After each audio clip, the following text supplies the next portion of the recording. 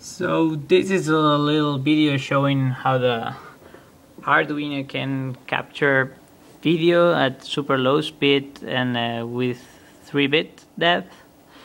This is a, an Arduino mounted on top of the video, I mean on, on the bottom of the video experimenter shield and it's got a USB going to the computer, the input and output signals and then a little a little resistor network with a potentiometer that allows us to set externally the threshold to capture the image. Here is the camera that we're gonna use. It's a standard NTSC camera. Here is the output of the camera going through the video board and here is the target that we're imaging.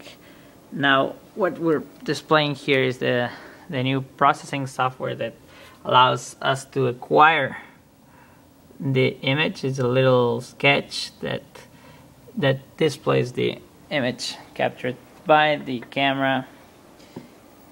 And it updates it here to the screen. It is kind of slow. It takes about 8 seconds to update the image. But uh, better than nothing. And uh, that's about it